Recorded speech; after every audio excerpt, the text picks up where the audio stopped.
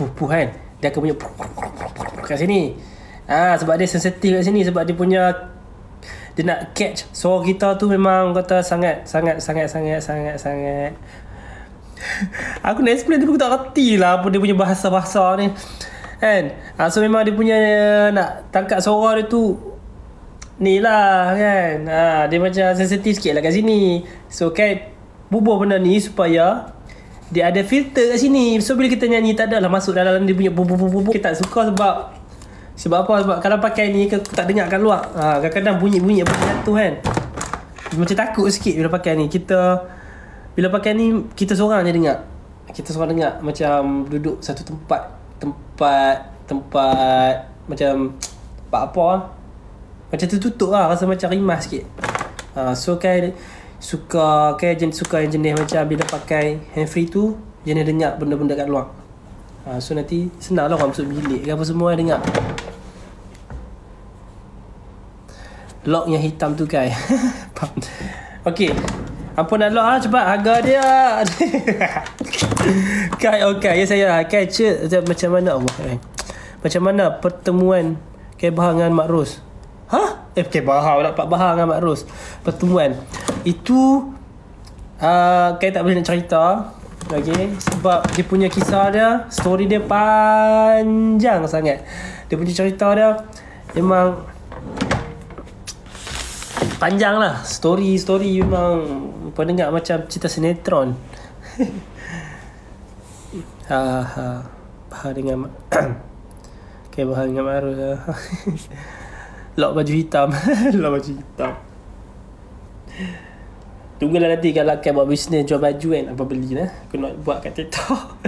Nonton ni pin aja Pendek kan Pendek kan Okay kita pendek kan lah. Macam mana Ayah Kai dengan Mak Kai bertemu. Okay so cerita dia uh, Mak Kai Dia kenal Ayah Kai Lepas tu dia pun kahwin Dia pun duduk perlih Lepas tu dia beranak. Keluarlah Kai dan juga adik-adik Kai dan Abang Kai Tak mau nak lock Kai Betul. Ceritalah masa jumpa Judika. Tak malah malu lah. Datanglah Ipoh. Keluarlah Kai yang comel. Pendek. Macam tu je cerita. Faham sangat. Faham kan? Ha. Kai tak gambar dengan Judika ke tak sempat nak bergambar itu sebab mak, mak, Mereka bergambar itu pun sebab masa time Time apa?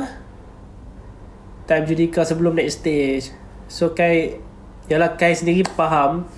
Macam Kai sebelum next stage pun Kita kena ada uh, Satu fee uh, Satu kata Persediaan yang Cukup. So kita tak nak macam benda-benda macam uh, Benda-benda lain macam mengganggu Untuk kita fokus membuat persembahan macam tu kan. Sebelum nyanyi so macam after nyanyi tu okey lah nak bergambar semua. Tapi sebelum nyanyi ni kalau boleh lah. Kalau boleh macam kan kan respect kan jenis respect orang macam sebelum perform tu uh, biar dia ambil feel dulu untuk nak perform. So kan tak mau kacau semua kan. So kan just ambil video daripada jauh macam tu je lah.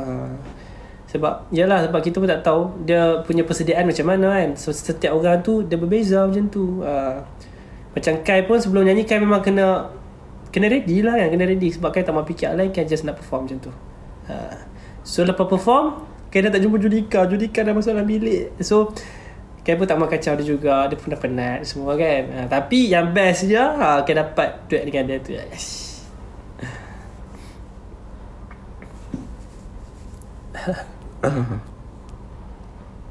kan happy sikit Kai share lah video abang kai kai kai kai orang Perlis juga bangga sangat orang Perlis suara sedap. Terima kasih. Nampak macam muka kai. Tak apa lagi insya-Allah ada rezeki nanti jumpa jadi kai. Insya-Allah insya-Allah.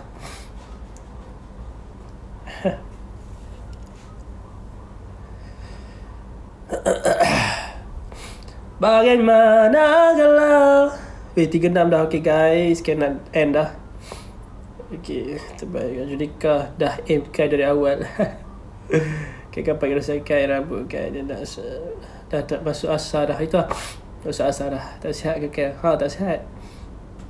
Sebab ni sebab batuk dengan semua. Last nak mini love dari kai.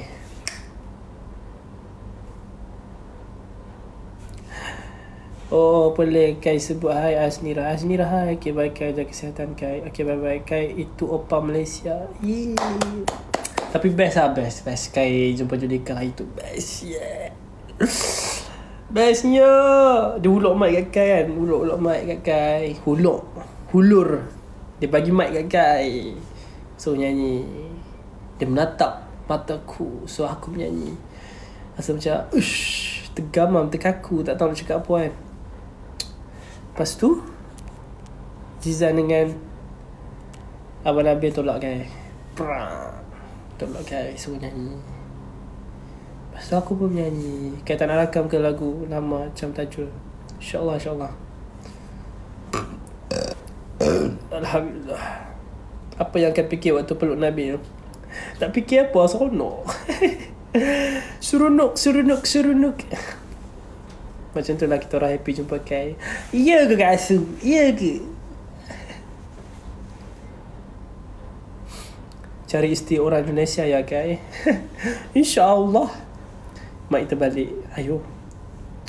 Nabil muka bangga betul lepas Kai nyanyi. Itu lah. Nabil pun happy. Dari awal Judika dah panggil Kai. Ya ke? Anda dapat suami begini ya Allah.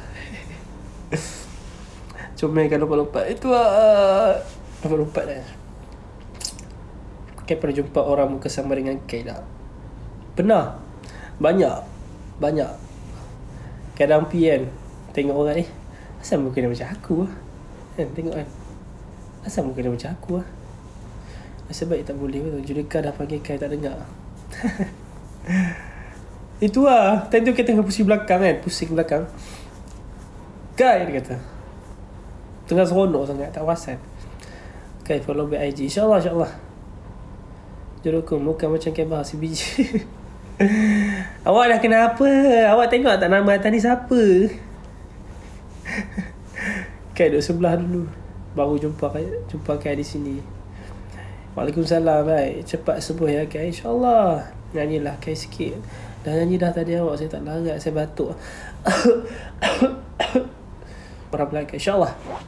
Harap ada album Dong Dengan Dong lah Dengar juga InsyaAllah. Okay guys Dah pukul 4.39 Asal Jom guys kita solat asar dulu guys. Jangan lupa solat je guys.